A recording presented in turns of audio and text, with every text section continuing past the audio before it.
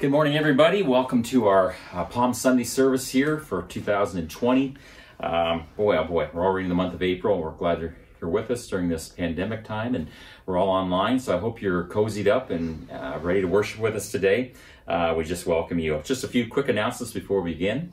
Uh, first of all, we are going to be having communion during this service. So at the end, uh, I mentioned this last week, so I hope you have some elements ready, some grape juice or wine, some bread, and we'll celebrate Holy Communion right near the end of the service today. Also, we will be having a Good Friday service that'll take place also at 10:45 a.m. Right, the same link that you've been clicking on for these services. That will also be a communion service. So Good Friday communion service, very special and important time. I hope you can join us for that. And then, of course, Resurrection Sunday, two days later, we'll be having uh, an online service of that as well. Same time, 1045. I want to thank you for those of you who've been, uh, particularly in our church family, who've been continuing to give. And some of you also have been giving through our website. We're grateful for that. Continue to support your local church. If you're from another community and you belong to another church, uh, continue to support your church. That's so important. But we do appreciate your giving at this time. It's helping us meet our needs uh, during the pandemic situation that we find ourselves in. Um, let's begin today with a time of worship. Let's bring our hearts and our voices before God. Let's sing to Him.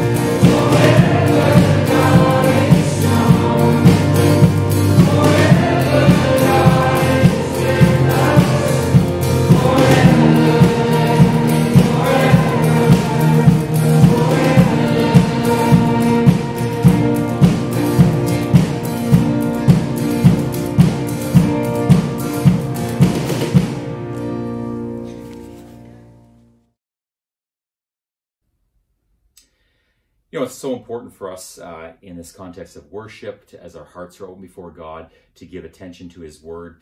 And uh, a lot of you have been finding a lot of hope and solace in Psalm 91. What a great portion of Scripture. I call Psalm 91 1 our 911 verse of the Bible uh, because uh, the great promise is there. But I want to read to you Psalm 91 today.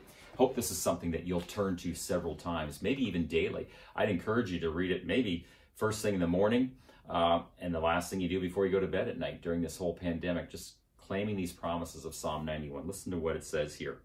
He who dwells in the secret place of the Most High shall abide under the shadow of the Almighty. I will say of the Lord, He is my refuge and my fortress, my God, in Him I will trust. Surely He shall deliver you from the snare of the fowler and from the perilous pestilence. He shall cover you with his feathers, and under his wings you shall take refuge. His truth shall be your shield and buckler. You shall not be afraid of the terror by night, nor of the arrow that flies by day, nor of the pestilence that walks in darkness, nor of the destruction that lays waste at noonday. A thousand may fall at your side, and ten thousand at your right hand, but it shall not come near you. Only with your eyes shall you look and see the reward of the wicked because you have made the Lord, who is my refuge, even the Most High, your dwelling place, no evil shall befall you, nor will any plague come near your tent. For he shall give his angels charge over you to guard you in all your ways. In their hands they shall bear you up, lest you dash your foot against a stone. You shall tread upon the lion and the cobra, the young lion and the serpent. You shall trample underfoot. The Lord answers, because he has set his love upon me, therefore I will deliver him. I will set him on high because he has known my name. He shall call upon me, and I will answer him. I will be with him in trouble. I will deliver him and honor him. With long life I will satisfy him and show him my salvation. What a great promise from God's word. And I hope you'll dwell a lot in Psalm 91. It's worth it. Like I said, you might want to start your day with it and and end your day with it and get those those great verses from Psalm 91 in your spirit. Let's uh, pause to spend a few minutes here in prayer, a few moments here in prayer before we have our message today. So much to pray about in our world today. Let's pray. Father, we're so thankful for the promise of protection that you've given us in your word, particularly this passage of scripture, Psalm 91. Lord, we do want to dwell in the secret place of the Most High because there we find shelter and comfort and protection even from this pandemic that's plaguing our world. Father, we pray for those who are affected by this, those who are in hospitals and have tested positive and are on respirators, and others who have symptoms of it, not sure if they've got it. Father, we speak a word of healing over those who are affected by this, protect their families that they they've been in contact with. We pray for frontline workers in our hospitals and medical places, people in retail, Lord, who are dealing with the general public and and uh, just people in long-term care facilities in particular, trying to um, maintain a place of uh, protection for those people there. Oh God, would you just cover all at this time? We pray for those affected economically with closures and um, suspensions of, of work. Father, many are affected by this. We pray, Lord, that you will provide for those who have a need during this time. Lord, we trust in you but we don't want to turn away from you uh, during this time. It might be a temptation for us to get frustrated or get discouraged, and, and we would do the one thing we should never do, which is to turn away from you. Lord, we want to learn from this passage of scripture we're going to look at today. A woman who just adored you and loved you and knew enough to come to you, even at the most difficult times of her life. Father, we want to do that. We want to follow her example. Example. Would you just teach us from your word today? We pray in Jesus' name. Amen. I want to read to you a passage uh, that might be very well known to some of you. It's um, it's from John chapter 12. It's about a woman in Scripture who just showed incredible love for Jesus. Um, a couple of the other Gospels, Matthew and Mark, also record this uh, same passage, this same incident. They don't give this lady's name, but uh, John's Gospel does give her name. Let's pick it up here in John chapter 12. I'm going to read the first eight verses. Then, six days before the Passover, Jesus came to Bethany where Lazarus was, who had been dead, whom Jesus had raised from the dead. There they made him a supper, and Martha served, but Lazarus was one of those who sat at the table with him. Then Mary took a pound of very costly oil of spikenard, anointed the feet of Jesus, and wiped his feet with her hair. And the house was filled with the fragrance of the oil. But one of his disciples, Judas Iscariot, Simon's son, who would betray him, said, Why was this fragrant oil not sold for 300 denarii and given to the poor? This he said, not that he cared for the poor, but because he was a thief and had the money box, and he used to take what was put into it. But Jesus said, Let her alone. She has kept this for the day of my burial. For the poor you have with you always, but me you do not have always. Wow, this is a powerful portion of Scripture, and there's much that we can learn from it. I kind of want to focus today on where is your heart? What are the things that you love? You know, when we really love somebody, it should be able to be obvious to the person that we're loving. They should know that they are the object of our affection. Uh, Jesus is at this home, and this woman comes in. It's Mary, a little bit more on her uh, later in this message, but she lavishes her love on her Savior. Have you ever been in a situation where um, someone just they wanted to show you how much you know they loved you or meant to you, and so they gave you a very extravagant gift. You knew that it, that the gift was very very extravagant to them, and you may have even been like, "Oh, please don't do this. I'm not worthy of this," or uh, you know, you may have even uh, tried to deter them. They said, "No, I, this you mean so much to me. I, I want to give you this gift." This happened to me a few years ago. There was a, a man that I met in ministry, and we did some preaching together actually, and he has uh, he's been in different parts of the world actually ministering but uh, we're still very good friends to this day. And and one day he called me up and said, "I have something for you, Brian. I I I, I have something I want to give you, as a, a, sign of our deep friendship." So he he came for a visit and um, he presented me with this watch. It wasn't the most expensive watch in the world. Uh, I don't know that it was a Rolex or whatever. I'm not sure what brand it was, but it was a very meaningful watch to him. It was a family heirloom to him and his family and someone had passed it on It may have been his father. I'm not sure who, but he, he was wearing the watch. He took the watch off and he gave it to me. Now, I'm not wearing that watch. I'm, I'm wearing a very inexpensive black watch. I can't wear this watch. It's too valuable to me. I have it in a very safe and special place in my home. But he said, I, I tried to say, oh, listen, this is a family that please don't give this to me. He said, no, no, no. Your, your friendship means so much to me. I, I want you to know how much it means to me. It's so valuable to me that there's no there's no commodity on this earth that, that would compare to the relationship we have in the Lord as brothers in the Lord. And so he gave me this. And to this day, it's a very, very cherished thing for me. The woman in the story today, Mary, is part of a family that Jesus knew in the city of Bethany. Uh, her brother Lazarus, her sister Martha, the three of them were good friends of Jesus, and Jesus just meant the world to her. Um, I want to give you a phrase that Jesus said in Matthew 6, verse 21.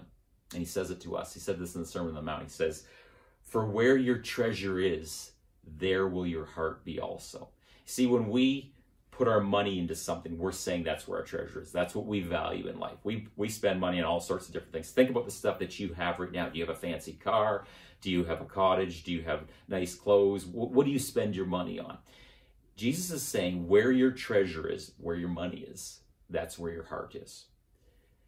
If I'm reluctant to part with my money towards something, it proves my heart is not in that thing. Mary wanted Jesus to know, and she let everyone else know that day too. My heart belongs to Jesus. He's everything in, in my world. What a, what a person does with their money reveals what is inside their heart. It shows what they truly love. Let's just take a look at this passage for a few minutes, shall we?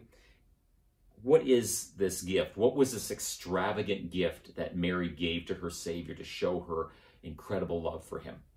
The Bible says that she came there into the house and she took a pound of very costly oil of spikenard. Now, it was a Roman pound, which is 12 ounces.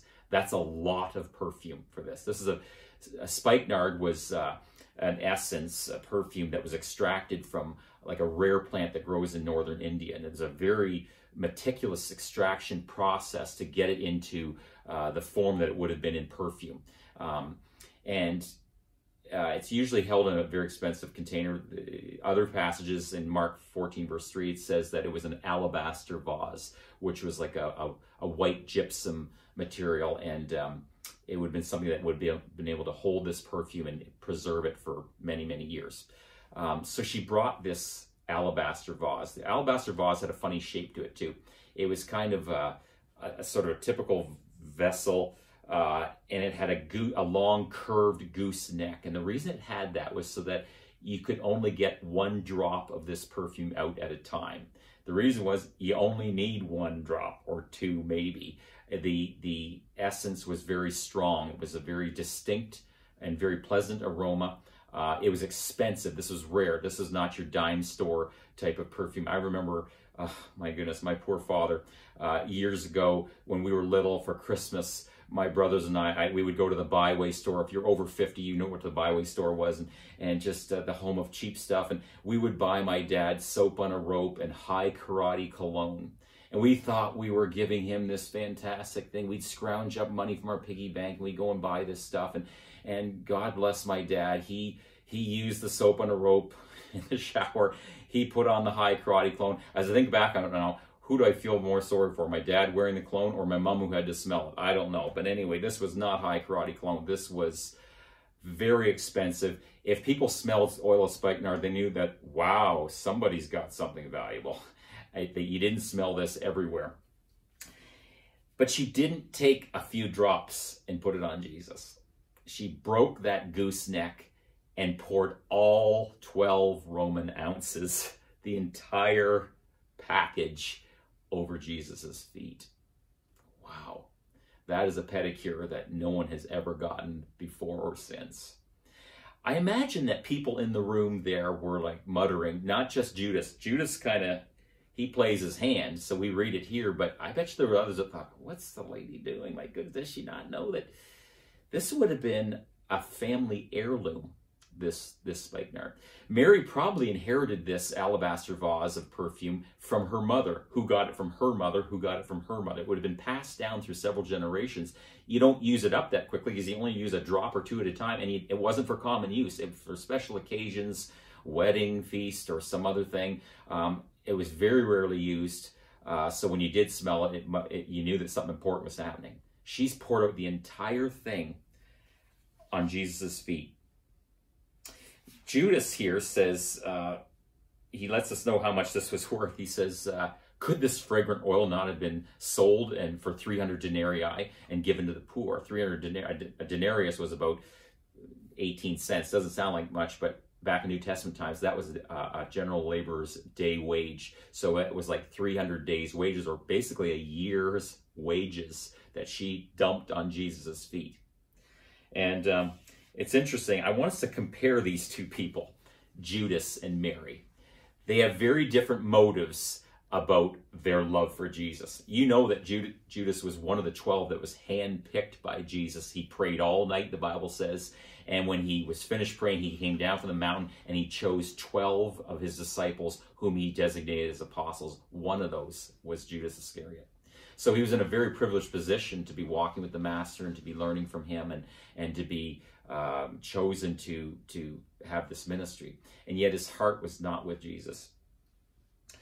Judas's motivation was greed. You know, it says right there in verses four to six. But one of his disciples, Judas Iscariot, Simon's son, who would betray him. Remember, John is writing this after the fact, years later, when he wrote his gospel under the inspiration of the Holy Spirit.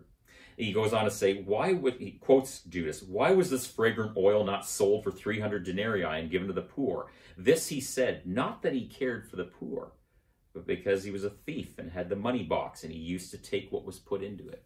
His motive was greed. He wasn't there to lavish love on Jesus. He liked being the treasurer of the apostles. He liked being uh, able to have easy access to the money purse and helped himself to it you know, and did whatever he wanted with it for selfish purposes. His heart did not belong to Jesus. Remember what Jesus said in the Sermon on the Mount where your treasure is, that's where your heart will be also. Judas's treasure was in himself. He helped himself to the money bag. So that's where his heart was. His heart was in himself. He was a very selfish person. Mary is quite the opposite. her motivation is love. She came to Jesus at the, ta- the table, by the way, where he would have been sitting at would have been like a U-shaped table, and it would have been a low table. They sat on low couches, not like a table like a dining table you and I would have. They would sort of recline with their feet back, and so she would have come up behind him and annoyed her his feet with this, broke this this gooseneck, poured all the alabaster contents of the spikenard on his feet, and then it says that she wiped the feet, his feet, with her hair. Verse three. The house is filled with the fragrance of the perfume. She would have let her hair down in public, which was a, a very humiliating thing. So she was humbling herself. She didn't care what other people thought. Her her motivation was, I, I love this man, Jesus. When we look at Mary, we find that she's always at the feet of Jesus. There's three times in Scripture where Mary is mentioned. And so, what is it with Mary's fascination with the feet of Jesus. Why is that an important place for her to be? I want to read you a verse from the Old Testament in Isaiah 52, verse 7. Prophet Isaiah said this How beautiful upon the mountains are the feet of him who brings good news, who proclaims peace, who brings glad tidings of good things, who proclaims salvation, who says to Zion, Your God reigns. Isaiah said, How beautiful upon the mountains are the feet of him who brings good news. Jesus is the essence of, of one who brings good news. The Bible says the feet of the one who brings good news are beautiful. Mary takes that quite literally. She says, I wanna I wanna honor you, Jesus. Your feet walk to villages where there are people who are blind and deaf and lame, and you touch them and heal them. Your feet walk to the through the uh, entrance to the temple and you teach the people on the Sabbath the oracles of God. Your feet walk through dusty villages and minister to the people, the poor and the, and, and the destitute. You have beautiful feet. I want to honor those feet. Jesus had traveled to this home. There's usually, when you come to someone's home, there's a servant usually is at the door and washes the feet it's a, if a, a well-to-do family uh, or else the person does it themselves. But usually there's a basin there and, and a towel, and you can wash your feet because, you know, roads there weren't paved. And so Jesus' feet probably, you know, were a little bit dirty, a little bit dusty. She anoints them with all this fragrant perfume, which immediately filled the whole room. By the way, his feet would have had this uh, aroma to them for the rest of that day and probably the next day. I mean, this is uh, uh, was an incredible spa treatment she gave his feet. And then she let her hair down and wiped his feet with her hair. Incredible humility on her part, not caring what other people thought. But two other places. In Luke's gospel, we know that Jesus, one time on his travels, ended up at the home of Mary, Martha, and their brother Lazarus. And uh, he was there, and, and, there was a meal prepared for them. And you may be familiar with that passage. But while Martha, the older sister, was preparing the meal, she got kind of upset by the fact that Mary wasn't helping her. But but Luke 10, verse 39 tells us something, and it tells us something about Mary. It says, And she had a sister called Mary, who also sat at Jesus' feet and heard his word. You see, Mary was a disciple, a learner. She wanted to learn from the master. She sat at his feet. That was the posture that uh, a disciple took when they were listening to their mentor or their master. They sat at the at the master's feet. And it was a posture that told them that my master is above me. He has things to teach me that I need to learn to improve my life. And so they sit at his feet. That expression is used a lot of people that so and so sat at the feet of, you know, you, you might read this throughout the Bible. And it's it's an idiom, but it also means that, you know, there's a there's a posture of humility with that. This is where Mary was. Mary said, Jesus is in my home. I want to take advantage of this. She sat at his feet to learn from him. Just prior to this incident here, Lazarus had died.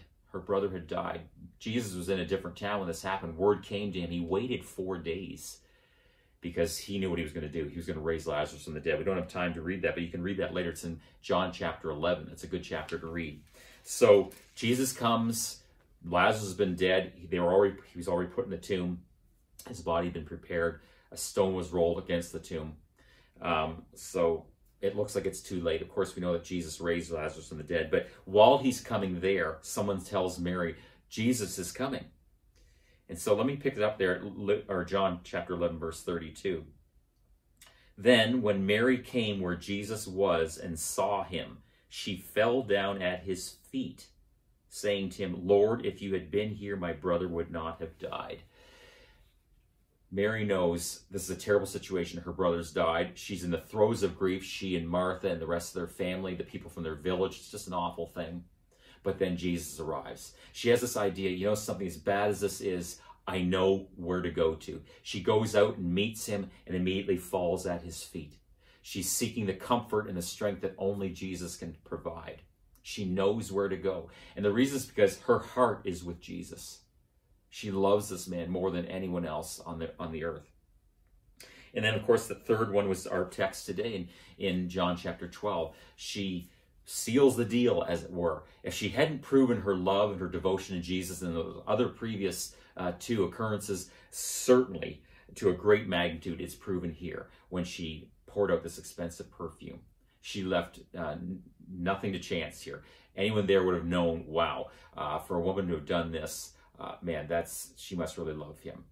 And it's there's this phrase that Jesus says after there's the criticism, uh, other uh, the, the, other accounts of this talk with other people criticizing her about you know the money being spent. Doesn't say Judas right away. It says that there were the, some there.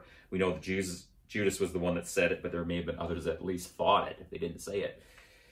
But Jesus says something incredible, which gives us a link to Mary's insight and her uh, the depth of her devotion. Jesus said after there was a criticism about how much this money was was and that she wasted it. Jesus says in verse 7, Let her alone, she has kept this for the day of my burial. For the poor you have with you always, but me you do not have always. Jesus is not disregarding the poor. He's taught in other places. He himself ministered to the poor. He fed them when they're hungry and ministered to them in so many different ways throughout the gospel account. So he's not disregarding the poor here. He's saying, You're missing something. Your life should revolve around me. I should be at the center of your life. I have everything you need for your life. This woman gets it. The rest of you, you're still you're still kind of on the outside looking in.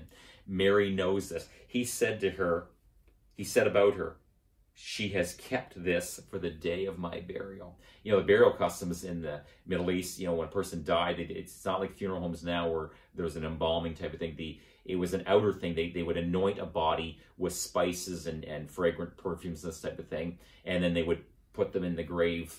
Uh, it was usually um, a, a, sort of a a dugout like in the ground and, and they would roll a stone against it and and um, that would be a burial plot and so um, this is why there was a concern when lazarus was being raised four days later that his body would smell because of that hot climate so he said she's already anointed my body for burial that was a foreshadowing that Jesus would be dying for his people, Mary included. What a powerful thing for him to say. Jesus knew and appreciated the lavish, extravagant love that Mary showed for her Savior. You know, we're coming into this Easter season. This is a perfect time of year for us to be really thinking more and more about the passion of Jesus, what he went through in that last week of his life. By the way, the last week of Jesus' life takes up most of the gospel material even though it was only one week of his life out of the 33 years that he lived. This is a very good time of the year for us to be considering where our treasure is. You know, so many things that we uh, have invested in this this world. It's been tested here during this uh, COVID nineteen crisis with people losing jobs or at least being suspended or laid off, companies having to close down, um, retail being affected, our stock markets uh, being affected greatly, and all of a sudden people are thinking, uh, you know, can I hang on? And we we're showing playing our hand, as it were, where our investment is. You know, as followers of Jesus Christ, we should say, you know something, these are important things. I need to take care of them as much as I can. My relationship with Jesus is the most important thing in my life. That I can't live without. I want you to be thinking about that. We're going to celebrate the Lord's table here in just a few minutes. I hope you'll have your elements ready and and um, let's appreciate what Jesus gave to us as much as Mary poured out her most expensive, her most extravagant possession and gave it all, every drop of it, to the one she loved, the Lord Jesus, Jesus gave every drop of the most expensive ointment he had, his very blood on the cross of Calvary. It's worth a lot more than oil of spikenard or any other essence on the face of this earth. It's worth way more than that. Let us pray. Father, we thank you for this passage. We're thankful for the example of Mary and what she did to show her extravagant love for her Savior and our Savior. And Lord, as we prepare ourselves to take communion today, take of the elements, the bread, which represents Jesus' broken body, and the cup, which represents his shed blood, we are reminded that Jesus himself poured out and lavished and wasted his most precious essence on us.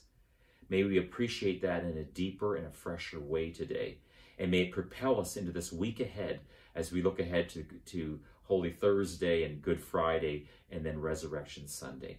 May you cause these things, as we reflect on them from Scripture, to deepen our relationship with Jesus Christ, in whose name we pray. Amen. Let's go and celebrate the Lord's table now, shall we?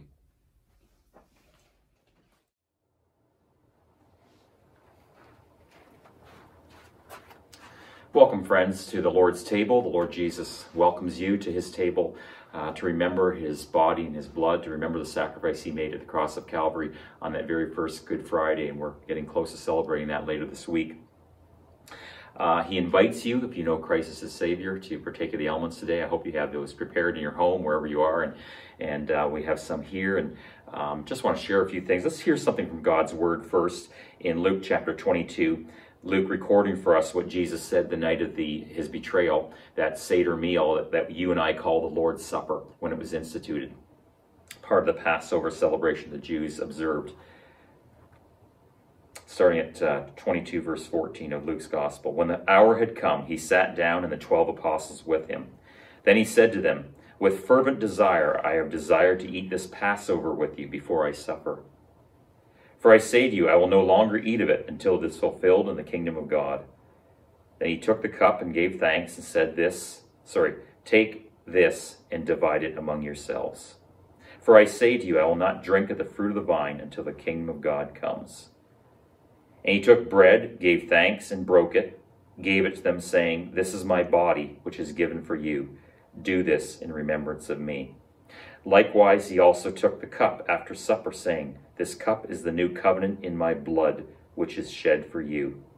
But behold, the hand of my betrayer is with me on the table.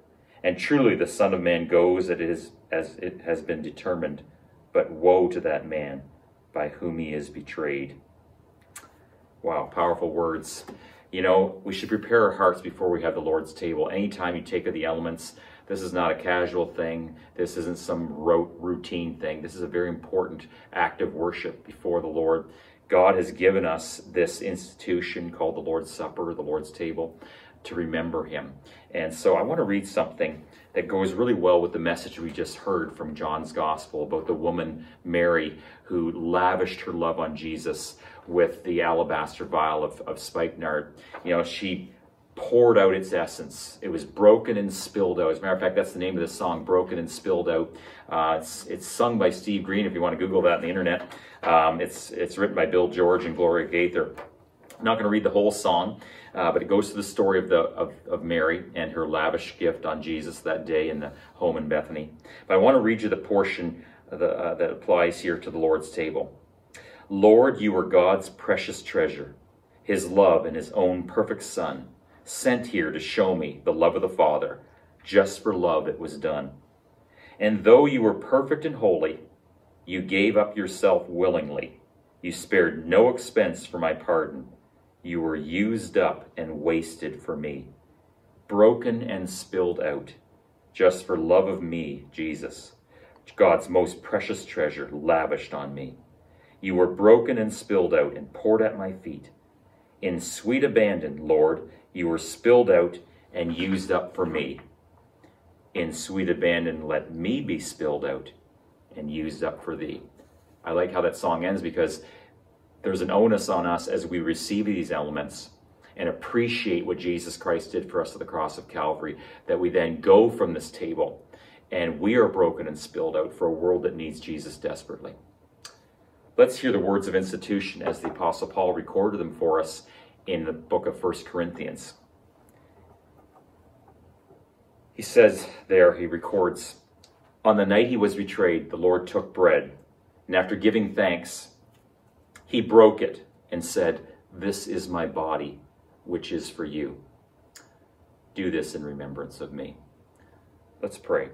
Father, as we take this bread today, we're reminded of the crucified body of Jesus that bore our sickness and carried away our diseases, and by his stripes we are healed, including from this pandemic, this COVID 19 crisis. Thank you, Lord Jesus, that your body was crucified cruelly on the cross of Calvary. We take this bread in remembrance and appreciation for your crucified body. In Jesus' name we pray. Amen. Let's take and eat together, shall we?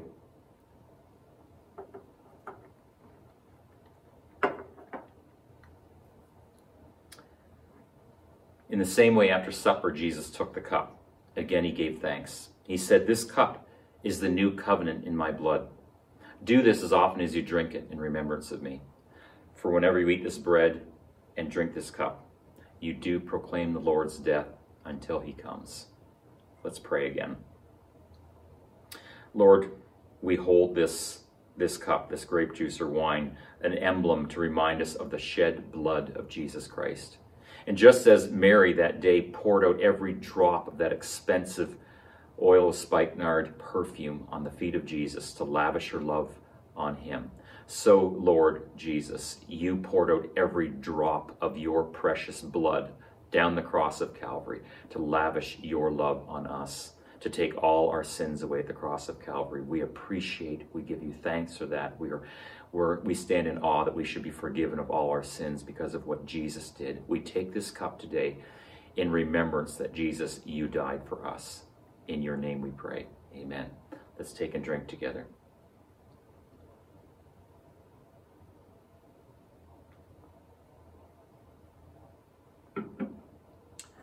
That concludes our communion service. I hope you have a blessed day and a blessed week as we go into the Passion Week. Spend lots of time in prayer this week, spend lots of time in your Bible, focus on the Lord, and uh, look forward to meeting again with you on Good Friday, 10:45 a.m. Remember to have the communion elements ready again. We're going to have a communion service for Good Friday, time of somber and solemn reflection on the things of God. Let's go forth though from this table. Remember, we need to be broken and spilled out for him. There's a world out there that needs us. Let's go with his blessing. Let's pray. Now may the Lord bless you and keep you. The Lord make his face shine upon you and be gracious unto you. The Lord lift up his countenance upon you and give you his peace. Through Jesus Christ our Lord. Amen.